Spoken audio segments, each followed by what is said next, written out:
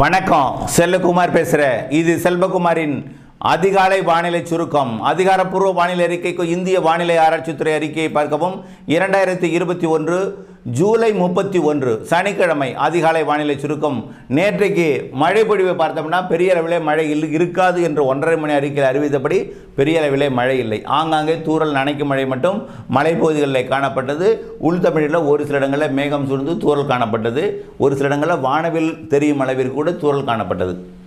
ஆனால் பெரிய அளவிலே மழை இல்லை. இன்றைக்கு வானிலை அறிக்கையும் அதே தான் ஆனால் ஒரு மணி முப்பது நிமிட அறிக்கையில் கேளுங்கள். அதனுடைய விளக்கம் துல்லியமான மழைப்பொழிவு இடம் போன்றவையெல்லாம் வ- வழங்கப்படும். வரக்கூடிய நாட்களில் நீண்ட கால அறிக்கையும் இணைத்து அதில் கொஞ்சம் கொஞ்சமாக வழங்கப்படும். ஆகவேனால தினசரி ஒன்றரை மணி அறிக்கையை காண தவறாதீர்கள்.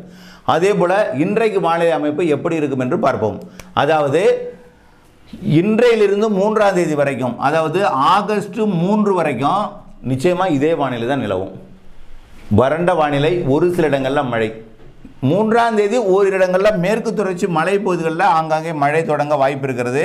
காரணம் வந்து அங்கே மத்திய பிரதேச போ மத்திய பிரதேசம் பகுதிக்கு வந்து பிறகு குஜராத் பகுதிக்கு வர இருக்கிற ராஜஸ்தான் குஜராத் பகுதிக்கு இடைப்பட்ட பகுதிக்கு வர இருக்கிற சிஸ்டம் காரணமாக தென்மேற்கு பருவக்காற்று வலுக்க இருக்கிறது. அது நான்காம் தேதியிலிருந்து ஏழாம் தேதி வரைக்கும் அந்த குஜராத் சிஸ்டம் காரணமாக வலுத்தும் பிறகு ஏ- ஏழாம் தேதியிலிருந்து வங்கக்கடலில் சிஸ்டம் உருவாகி ஆந்திர பிரதேசத்திற்கு வந்து அரபிக்கடல் மற்றும் ஆந்திர பிரதேச சிஸ்டம் இடைப்பட்ட பகுதியில் ஒரு இணைப்பை ஏற்படுத்தி தென்மேற்கு பருவமுடன் இணைந்த வெப்பசலன மழையை தமிழகத்திற்கும் மேற்கு தொடர்ச்சி மலை மாவட்டங்கள் தமிழகத்தில் வயநாடு குடகு அதாவது கர்நாடகாவின் குடகு கேரளாவின் வயநாடு மற்றும் ஒட்டுமொத்த கேரளா கர்நாடகா மகாராஷ்டிரா கோவா எல்லாமே சிறந்த மழையை கொடுக்க இருக்கிற நிலையில் தமிழக வானிலை அந்த நாளில் எப்படி அமையும்னு பார்ப்போம்.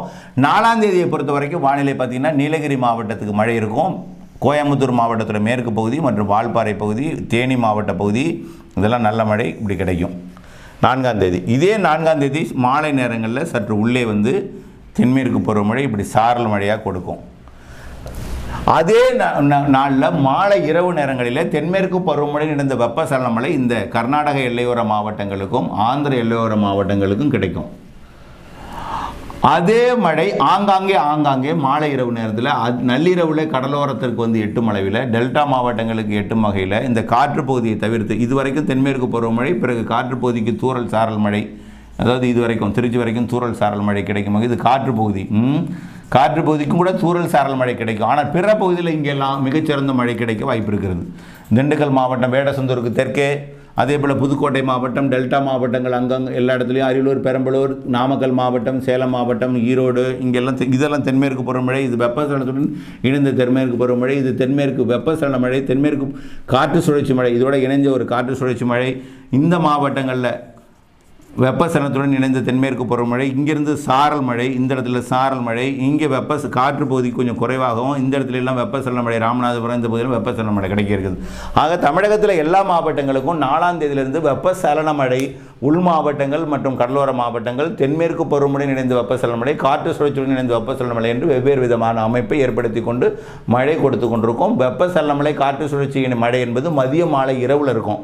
தென்மேற்கு பருவமழை என்பது மேற்கு தொடர்ச்சி மலைப்பகுதிகளில் நாலாம் தேதியிலிருந்து இருக்கும். ஏழாம் தேதியிலிருந்து நாலு ஐந்து ஆறு தேதிகளில் மெல்ல அதிகரிக்கும். ஏழு எட்டு தேதிகளிலிருந்து வலுத்து இருக்கும். எட்டு ஒன்பது பத்து பதினொன்று பன்னிரெண்டு பதிமூன்று தேதிகள்லாம் நீலகிரி வால்பாறை போன்ற பகுதிகளெலாம் கன மிக கனமழை வயநாடு குடகு போன்ற பகுதிகளெலாம் கன மிக கனமழை வாய்ப்பு இருக்கிறது. ஆகவே வரக்கூடிய நாட்கள் மூன்றாம் தேதி வரைக்கும் தான் நீங்கள் கொஞ்சம் இருக்கிற இந்த வானிலையை நீங்கள் பொறுத்து கொள்ள வேண்டும். நான்காம் தேதியிலிருந்து வானிலை அப்படியே மாற இருக்கிறது. ஏழாம் தேதியிலிருந்து மிகச்சிறந்த மழைப்பொழிவு வானிலையாக மாற இருக்கிறது.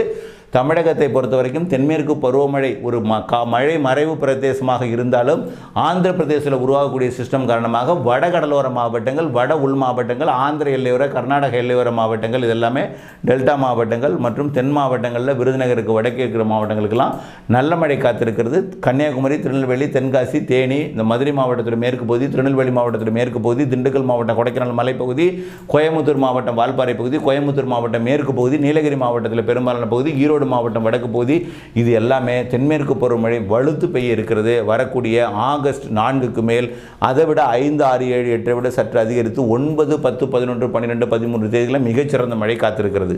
ஒவ்வொரு நாளும் ஒரு மணி முப்பது நிமிட அறிக்கையில் அறிந்து அன்றைக்கு அன்றைக்கு மழைப்பொழிவு எங்கே என்பதை அறிந்து திட்டமிட்ட வேளாண்மை செய்ய அன்போடு கேட்டுக்கொள்கிறேன். கண்டிப்பாக இந்த ஆண்டு வடகிழக்கு பருவமழையில் சராசரிக்கு கூடுதல் மழை வாய்ப்பு தெரிகிற காரணத்தினால மழைப்பொழிவை சேமிப்பதற்கு நீங்கள் மழைநீர் சேகரிப்பு அமைப்பை அமைப்பு அமை ஏற்படுத்துவது கட்டாயம்.